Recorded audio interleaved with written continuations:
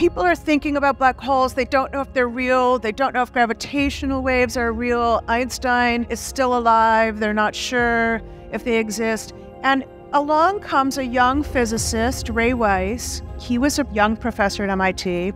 He started to think of a way to build this musical instrument to record the sounds of the ringing of space. And he started to build an instrument that was about a meter and a half long. And his colleagues came by and they tell him, You're never going to get tenure. Eh, what you're doing is not important, it's ridiculous. And he thought to himself, You know, they're right. So he does this study of how big the instrument would have to be to be successful. And he realized it would have to be about four kilometers long at least. This is the instrument. It's called LIGO. The details of how it works doesn't matter, but it is very much like an electric guitar. Only it costs a billion dollars. A thousand people worked on it for 50 years to make two. There's one on the coast in Louisiana, the other is in Washington state. And the idea is that, let's say, black holes collide somewhere in the universe, these waves would travel through the universe and they would wash over the earth and be recorded. In the year 2000, they build these instruments and they hear nothing. For 15 years. Ray Weiss says to me in 2015 if we do not detect black holes, this thing is a failure.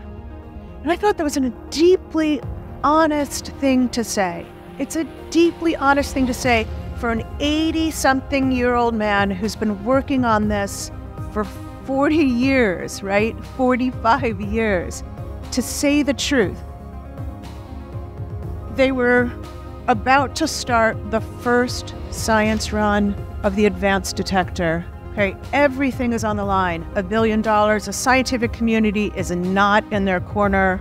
There were fights publicly in Congress about how this experiment was not worth the money and how it would serve nobody and how it would fail and uh, and they get nervous and they start to think we're not ready, we're not ready to run the detector. It's the middle of Sunday night, and the experimentalists are messing with the instrument trying to test it, and they get tired and frustrated, and they decide to go home, mercifully leaving the instrument locked in observing mode.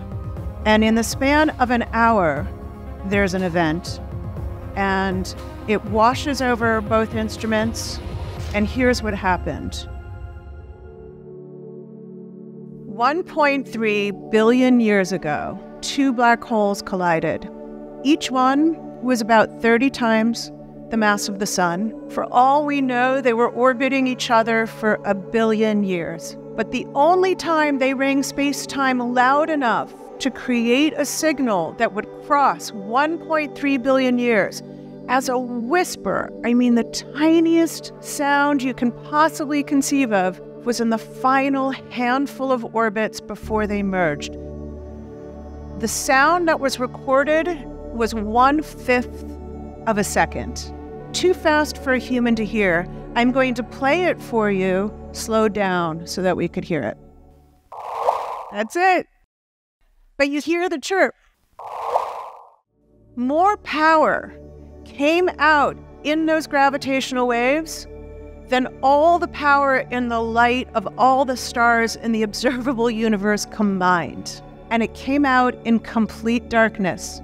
No picture, no photograph will ever be taken of that event. Then, and miraculously, they had an event on December 26th. It was a, one big black hole and a slightly smaller black hole, and they collided, and this is what that sounded like you can hear the difference. Scientifically, you can recreate the sound of a banging drum and deduce from it what actually happened. And then later, something extraordinary happened, which was the collision of two neutron stars. This is what it sounded like. Boom. Because they're not black holes, they're actual physical objects that are almost black holes, but they have a surface, they have dense, dense matter. When they collide, it creates fireworks. This event was the most widely studied event, probably in the history of all of astronomy.